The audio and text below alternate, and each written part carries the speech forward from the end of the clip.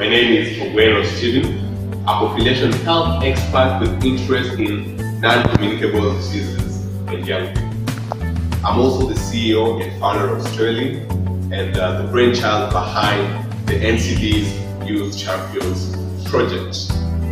I'm also um, the author of The Drug Free Youth, which is a book I wrote as a result of this very project. I'm very passionate about SDG 3, good health and well-being, and I strongly believe that everybody everywhere needs to have accessible healthcare and more than that, need to have accessible information in as far as health is concerned.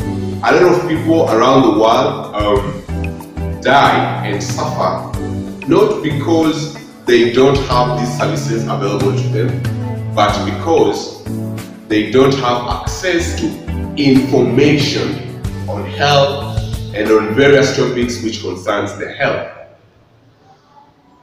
My interest in health began a very long time ago and since I was in high school I knew I wanted to do something on health.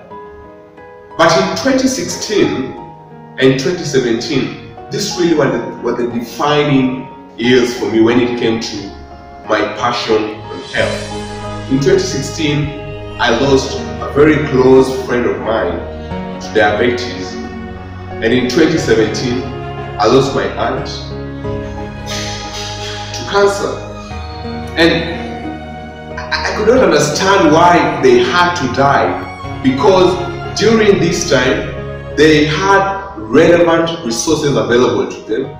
They had the money to actually be able to treat themselves, but because they lacked information on what diabetes was and what cancer was, they went to uh, local traditional healers who misled them and as a result, they died.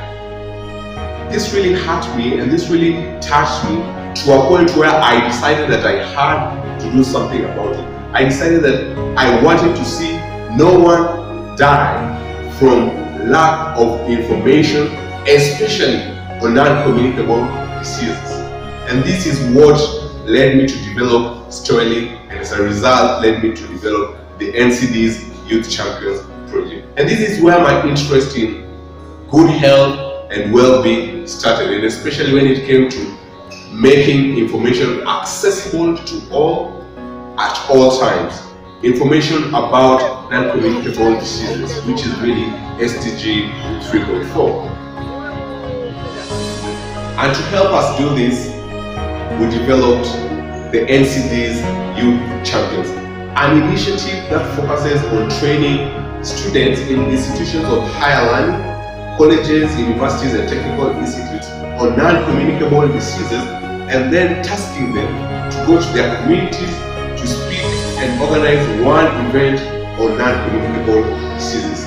This is how we are reducing NCD's illiteracy, and this is how we are using our outreach champions out there to help us create these messages on non-communicable diseases. To help them on their work and to help us reach more people, we developed the MQR app, which is an app that gives you all the information you need in non-communicable diseases in simple and relevant formats. But more than that, it links you to uh, medical camps happening near you, but also links you to organizations that you can contact in case you need services on non-communicable diseases. Also in this project, we've been able to reach a massive number of people.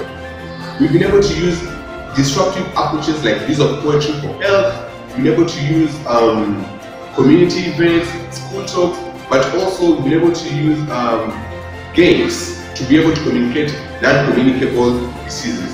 Cumulatively, we've been able to visit um, over eight schools already, been able to train over 47 outreach youth champions, and we continue to move to projects to create messages about health and to use our NCD champions to create impact.